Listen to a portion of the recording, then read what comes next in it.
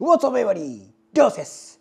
ということで、えー今日はねよくねこう日本は借金大国だみたいな話をニュースとかね、えーいろんなところで聞いたりして国としてものすごく借金をしてて大変なことになってるんで、まあ、しっかり増税も含めてしていかないと大変なのでいろんな部分で増税させてもらいますってことでね、えー最近すごいいろんな増税が出てると思うんやけど、まあ、直近で言うとなんか子育て支援金みたいので月にねいくらかみたいなのがあってでさらにそれが年収ごとにねあの年収が増えれば増えるほどその負担額がま月1,000円以上になっていくみたいな話が出ちゃうと思うんやけど、まあ、結構いつも俺のチャンネルではね、まあ、世界中旅したりとか死ぬまでにしたいことを叶えたりっていう中で、まあ、世界の事情とか話すこと多いんやけど今日はこのよく言われるその日本の借金って本当なの。ちょっとそれ嘘じゃないっていう部分があったりもする疑問もあるので、まあ、その辺をねちょっとまあ数字を見ながら説明できたらなということで、まあ、昔からもちょっと違和感あったし、まあ、世界中でねやっぱ本当に財政破綻したギリシャとか実際デフォルトの状態になって財政破綻したスリランカとか、まあ、そういったとこにも行って、まあそして現地を見てきた中で、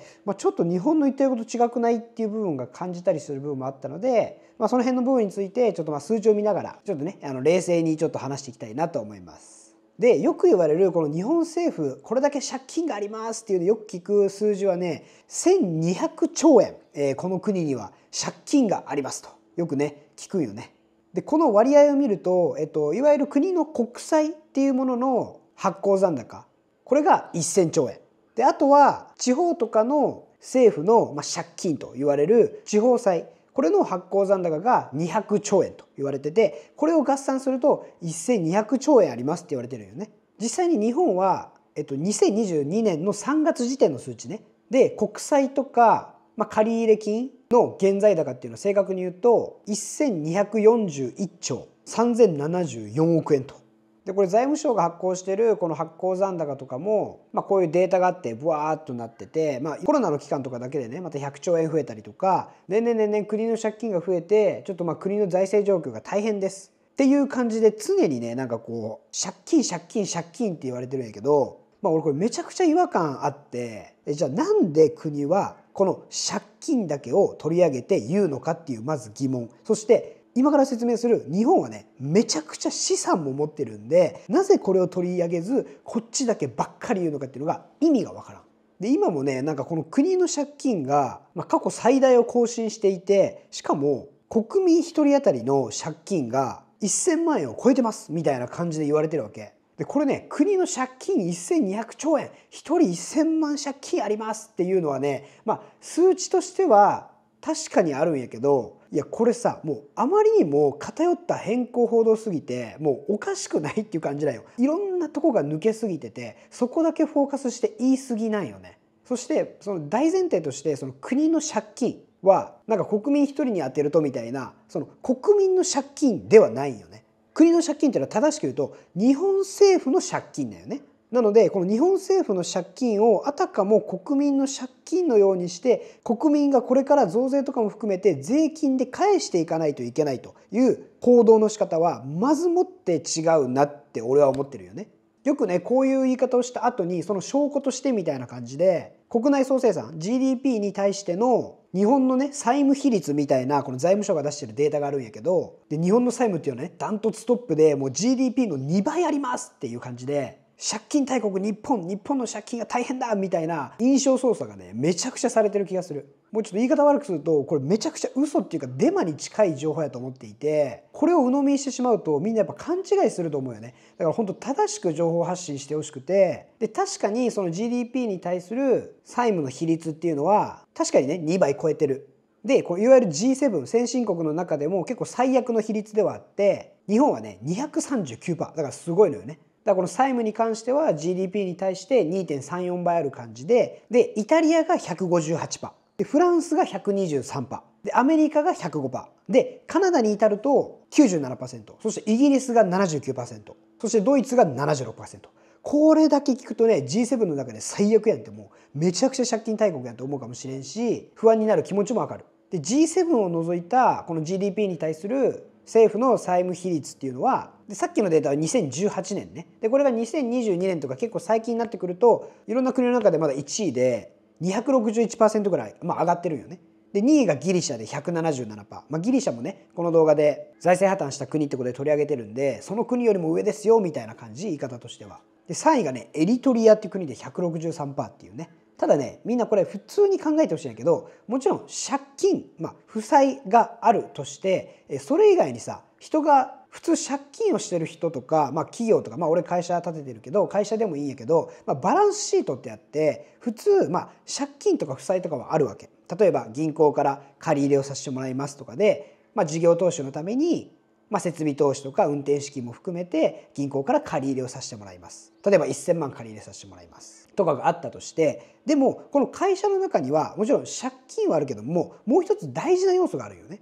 それもう一つ大事な要素っていうのは何かっていうとこれは資産よね。その会社がどれだけ資産を持ってるか。これ当然俺の会社でも負債はあります。もちろんあるよ。俺も借り入れとかして沖縄で設備投資とかしてすっごいねみんなが楽しめるような遊び場を作ってるんで、まあ、結構なこう借り入れをさせてもらって設備投資として負債があります。ただ負債は負債なんやけどこれ資産を作ったりとか、まあ、今後のね事業をしっかりね基盤に乗せて将来的な収益を増やすための投資になるので、まあ、いずれこれも資産になるしもともと持ってる会社の資産もあるわけ。でもちろん決算とか会社の会社のね財務状況を言う時に負債と資産のバランスでどれだけの今財務状況ですからお金を貸してくださいとかっていう信頼度が負債が多ければ多いほどもちろん悪くなるし負債があっても資産もあれば全然安定要素として見られるみたいなもんだよね。それを証明するためにもう一個データを発表します。さっきはね GDP に対する債務の比率やけど今から紹介するのは GDP に対する資産の比率。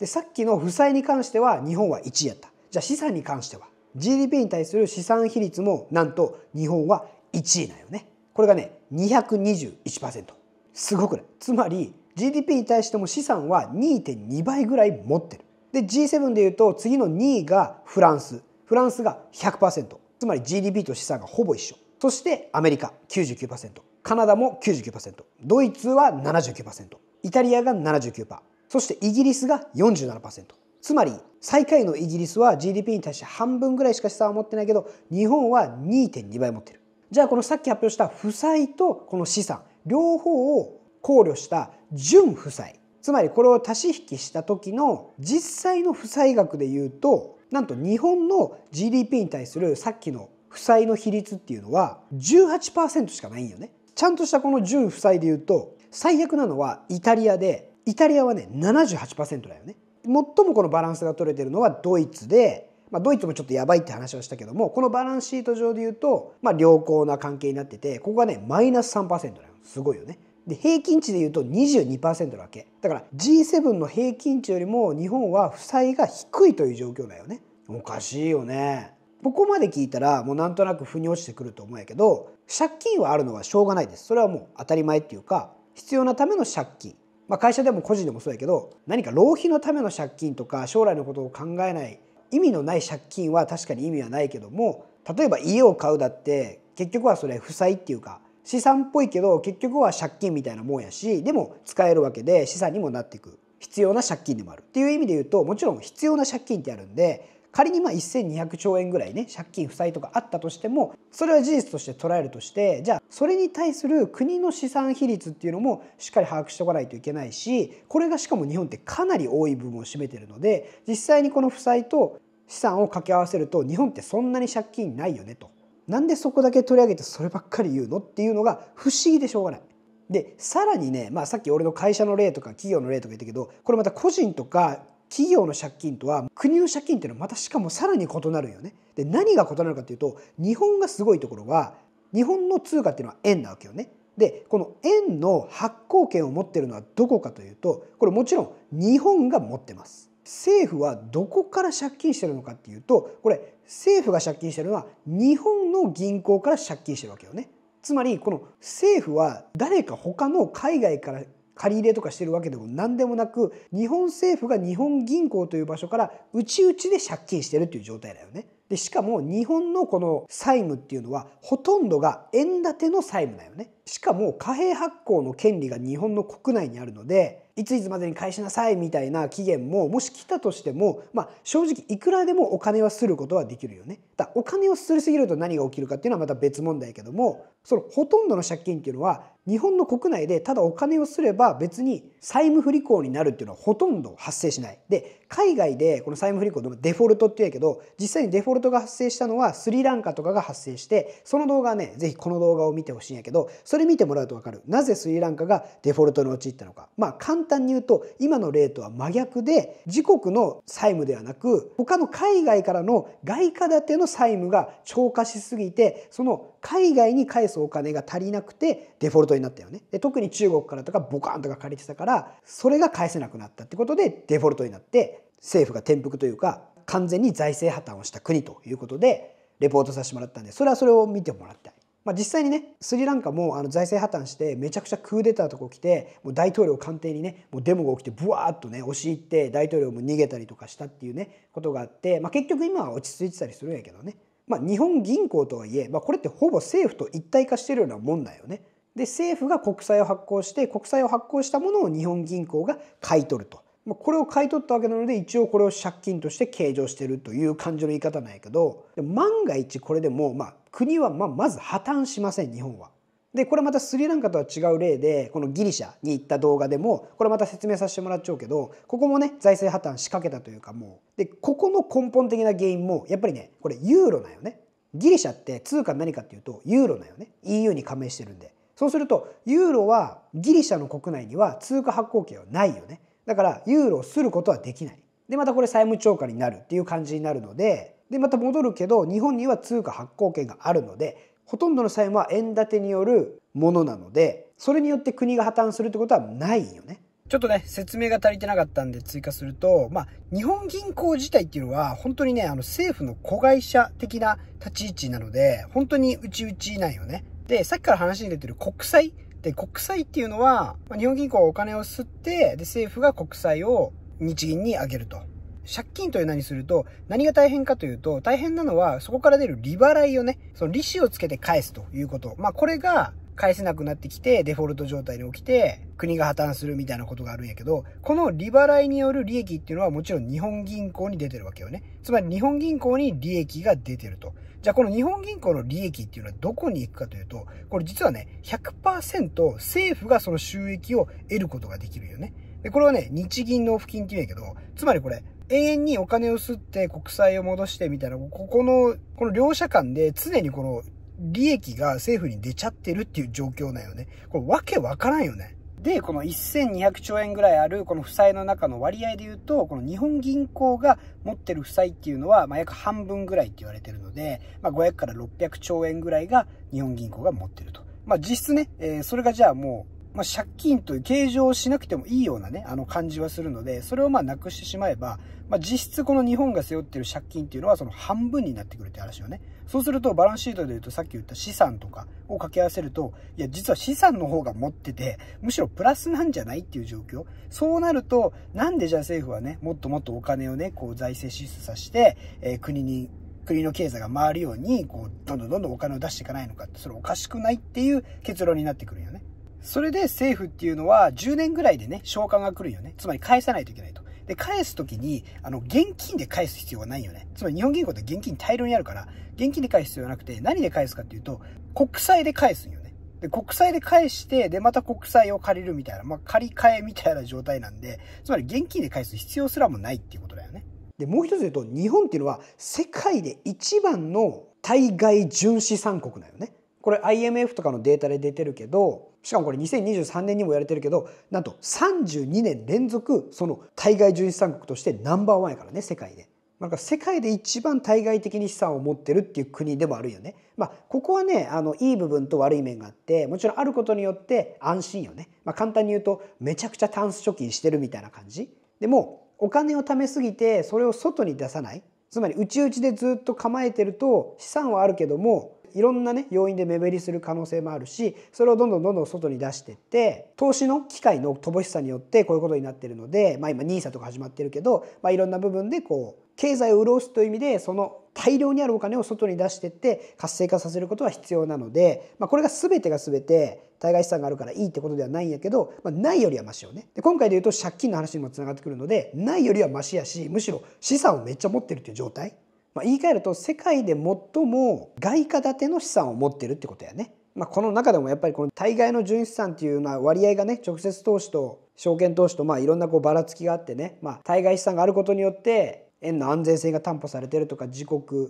自国通貨をね防衛する余力が残ってるとかまあいろんな面まあなんかいろんなことあるけどね。まあここは深く掘らないけど、まあ、それだけの一応まあ資産もあるし。で一応こう2000年から2015年ぐらいまでのデータで見た時にこの G7 の中でのこのいわゆるじゃあ言ってるこの負債とか借金の増加率みたいなことで言うと実は G7 の中でも日本は増加率一番低いよね。イギリスがね429%とかでアメリカも330%とかね。で日本はね163%ぐらいだよね。言ってる通り負債が全部悪いことじゃないから。何回も言ってる通り負債が増えることが全部が全部悪じゃないからね。この負債を増やすことによってそのトレードオフでさらにそれを投資という意味でいろんなところに回してって結果国の経済がね良くなっていけば別にいいことなので逆に借金を増やしていくっていうのはまあまああるべき姿というか必要であれば絶対にしておくべきことなよね。しかもその裏でちゃんと通貨発行権とか持ってるなら安心だよねとかあるんでむしろそのデータで言うと日本はねあの借金を全然積極的にしてないっていう感じこれだけの資産があるのに借金を全然してないつまりどういうことかというと国として財政出動全然してない。言ってしまえば国が国民に対していろんなお金を出し渋ってるというかケチケチしてるみたいな状態。国民のためにお金を渋ってるのに増税とかもするよみたいな感じでこういうデータを開示せずに国民に対しては借金が増えまくってるっていう感じでもう脅しまくって煽りまくってだけど裏で言うと借金の伸び増加率っていうのは実はそんなに高くなくて国民に対して国がお金を出し渋ってる状態。でこういうデータを見た時に俺は全然専門家じゃないんでそんな答えは出せないけども完全にまあ今ドイツがやばいっていう動画でも紹介したけど、まあ、スタグフレーションみたいな状態になってると。つまりまあ景気はねそんなに上昇せず停滞してるのに物価が上がってってしまうっていう状態。でこれでドイツが結構ね GDP3 位になったとかって言ってたけど、まあ、実は円安のからくりとか輸出産業がどうとかっていうことで、まあ、いろんなからくりがあってただ上に上がってるだけで、まあ、結構やばい状態ですよっていうのは説明したんやけど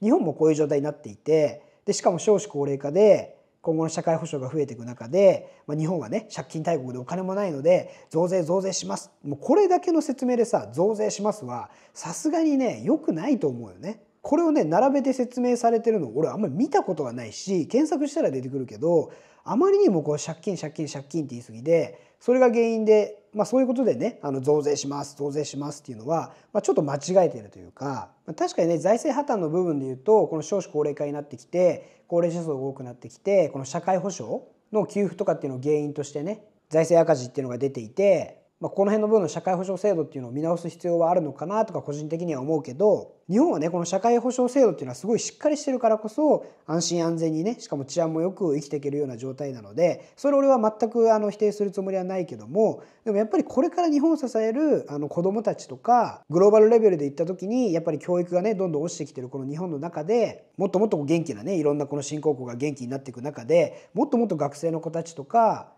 今から新しい分野でねこう挑戦できるような活力も適応力もある子たちにどんどんどんどんお金を下ろしてあげていった方がやっぱりいいなとは俺は思うし税金を全部なくせみたいな話もあるけど、まあ、それはそれでねあのまあ多分無理だなと思ってるしだってこの今までの歴史上無税国家なんかやっぱ存在してないしね。いろんな税金がなくなることによってもう可処分所得が増えるんでねいろんなものが買えるようになる。もちろんそれは素晴らしいことだと思うけどそれをしたことによってやっぱりお金がねこう溜まりすぎて供給が追いつかなくなってお金の量だけが増えてって何が起きるかっていうとお金の価値が信頼が下がってくる。そうすると、まあ、俺が言ったベネズエラとかジンバブエとかでも起きたけど、まあ、いわゆるハイパーインフレーションみたいなものが起きて俺が言ったジンバブエなんかあの1ジンバブエドルとかあったのについついには 10, 10兆ジンバブエドルだったかな？なんかすごい金額の額までこうハイパーインフレーションが起きてしまったわけよね。それはちょっとまあ極端やけどあまりにもお金の流用性が良くなりすぎるとお金が紙くずみたいになっちゃうのでそれをまあ引き締めたり調整したりするのが税金の役目というふうに認識しているので税金は絶対必要やと思うよね。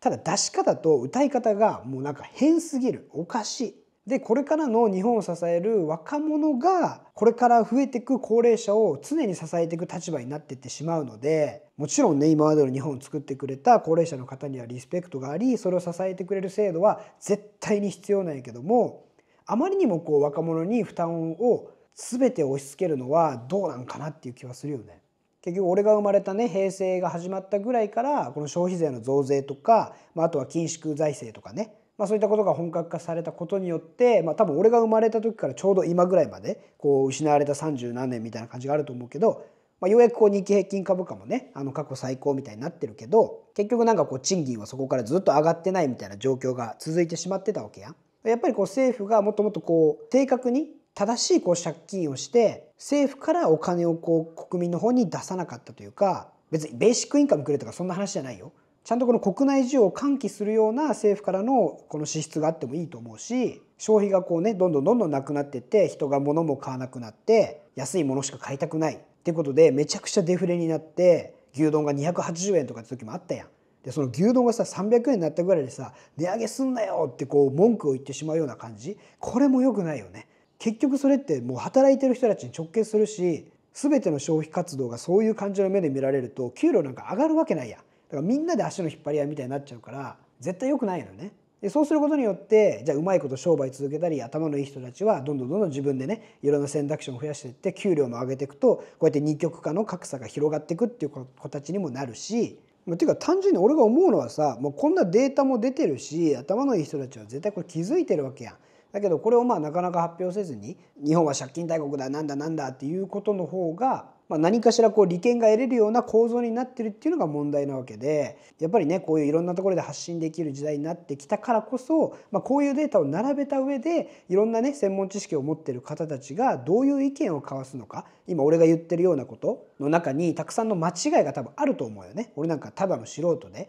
もちろん勉強もするし自分なりのねその勉強したことを噛み砕いて自分なりの意見を言うってことはできるけど多分間違えてる部分もあると思うので、まあ、そういったところをねこう指摘し合ったりとかそれでねあそこはそういうことなんやとか、まあ、それによってねこう建設的な話し合いっていうかなんか議論が深まるやん。じゃあそこはいい部分として取り入れて確かにその指摘した部分は確かにそう思う部分もあるのでそれはそういうふうにした方がいいよねとかっていう感じの話し合いができていくだからなんかどっちもさ常になんか足の引っ張り合いしてなんか意味のないこう報道もして事実なんやけどあまりにも変更してるようなことじゃなくてしっかりと両面報道した上でどういうふうにしていったらいいのかっていうのを分かるような機会があればあるほどやっぱり国民全体のリテラシーも上がるしね、まあ、おそらく今これしないっていうことはそのリテラシーを上がると困るような人たちが中枢の部分にいるので、まあ、計画的にやってないはずやと思うよね。じゃないとこんなことはねもう誰しもが分かってる俺なんかが言わなくてもいろんな人が気づいてるはずなのでそれでもなかなかこの議論が進まないっていうのはやっぱいろんな闇の部分というか構造自体を動かしたくない。まあこの今のね政治に対してもやっぱりそうやん。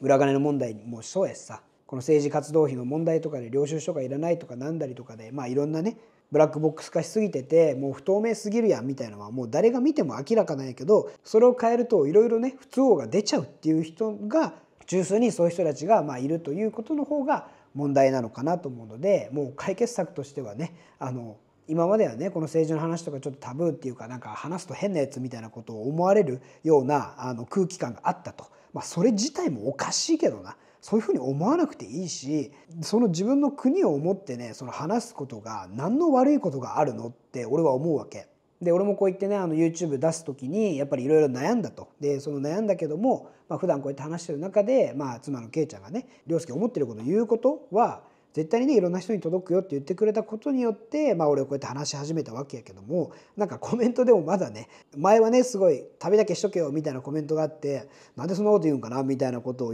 を取り上げさせてもらったらねコメントで「そんなこと言うなんて失礼だ」みたいなことでねすごい守ってくれるようなコメントが多くて嬉しかったんやけど、まあ、つまりねもうそろそろやっぱりこうやってねあのみんなで話し合えるような空気感っていうのはできてきつつあると思うよね。この世の中のこの政治の不信に対することとかも含めてさもっともっとこう話し合えることが増えてきてるはずなので、まあ、こういったことをねあの話し合える場所をいろいろ作ってさで何もわからないままね反対するのも良くないけども、まあ、そういった議論がベースにあってリテラシーを上げていく中でやっぱりね俺たちがどうしたらいいかっていうのはやっぱりこう選挙に行くとかねでしっかり今変なことやってるような人たちやるって言ったことをやらなかったような人たちをしっかりと引きずり下ろすということをするしかないよねと。で多分ね次の選挙とか、まあ、いろんなところでしっかり発言ができる人でその発言にのっとって行動ができるようなあの人たちっていうのが多分増えてくると俺は思ってる。今のこの時代やからこそ。なんでかっていうとこういう発信の媒体が増えたからこそこの内部の圧力だけに屈せずにむしろその内部の圧力があったからこそ別の場所でこうやってあのこういうことがあったって、まあ、言ってしまえば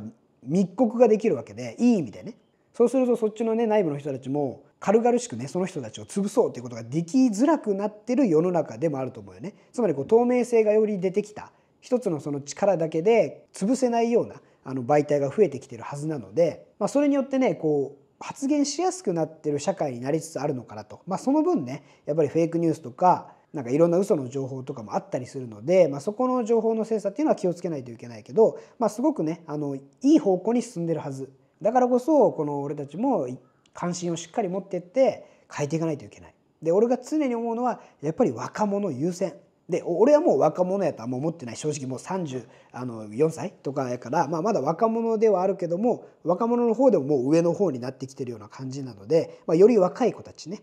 のあのチャンスとかあとまあこの希望が失われないように。また別のちょっと動画で紹介するけどすごいね今のこの若者に調査したあの世界ランキングとかでも日本の子たちがだいぶねこう元気がない。その自分の国の将来についてすごく希望を持ててない子も多くてそれがもう悲しすぎてもうこれって絶対ね俺たちの責任にあるわけ。上の世代親の世代そして今見てきてる社会のせい。もちろん外部要因だけじゃなくて自分たちで頑張っていかないといけない。その努力は絶対怠っちゃいけないけどもそういう環境にしてしまってるのは絶対ね俺たち自身のせいでもあるので若者支援だ若者支援だということによってもう選挙に受からない可能性のが高すぎるのでその人口ピラミッド的な母数を考えた時にどうしてもこう高齢者層選挙に行く年代に向けたそこの世代に刺さることを言えば言うほど選挙に通りやすくなるっていういびつな状態になっているのでどうしてもこう若者もしっかり選挙に行かないとそこにどんだけ刺さるようなことを言っても結局そこのスタートラインに立てないみたいな矛盾があるので、まあ、ここは苦しい部分でもあるけどもやっぱりそこをしっかりやっていきたいよね。そこをしっかりやっていかないとなかなか変えれない。でも今 YouTube とかねいろんなその X とかいろんな発信できる媒体があるのでまあなんかねやり方次第では全然変わっていくのかなとは思うよね俺はね。でちなみにね、えーと、アメリカアメリカではね逆に政府の債務っていうのがめちゃくちゃ増加してるよね。でこのコロナの混乱が起きる前っていうのは2020年の1月とかはねアメリカっていうのは3350兆円ぐらいやったらしいよね借金がね。2023年の11月時点ではその負債の額がね4900兆円ぐらいまで増えてるとつまりねこの4年間でね1500兆円ぐらい増えてる